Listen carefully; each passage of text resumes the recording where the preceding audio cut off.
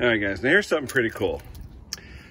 Craig from MC Machining or MC Engineering was asking, it looks like they have the same exact everything on the command 9 through 15, and he asked if it was just changing the carburetors, and I said, probably. Well, here's the carburetor off the 9-horse STX 30.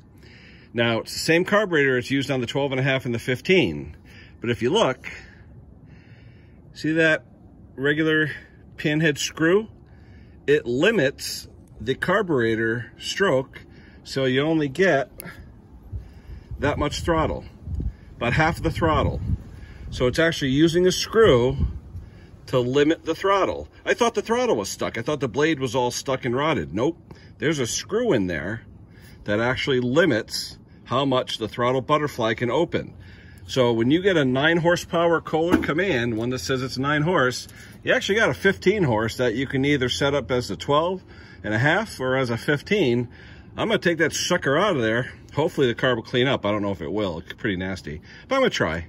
But anyway, yeah, I'm gonna take that screw out and wind her up and see if how she runs. So pretty interesting. Everyone's asking how they uh, use the same block stroke, bore stroke, pistons, valves, everything else the same on a 9, a 12 and a half, and a 15 horse. Well, they just limit the carb. They don't resize the carburetor. They just limit the opening of the throttle.